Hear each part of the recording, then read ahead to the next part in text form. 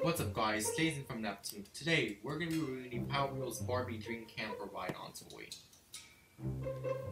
If you have seen this before, you can only get this at Walmart, but not at other retailers. Here's the puppy part. It uh, looks like a TV, but it isn't. You flip down, there's a pretend grill. Up here is the back of it, and there's the Barbie logo on the back, uh, and then when you open it, there is a storage compartment. And then uh, over here is the uh, time refrigerator pretend microwave oven for time oven as a matter of fact. Pretend stove top. So anyway, this is the front of it.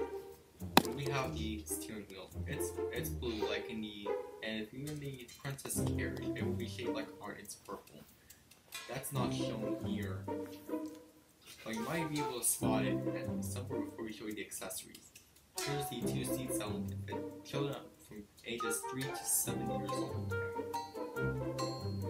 So, anyway, I'm excited So I'm gonna put the camera down while I try to put the battery there.